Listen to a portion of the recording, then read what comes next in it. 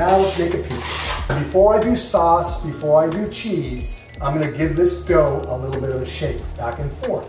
It should slide like a hockey puck.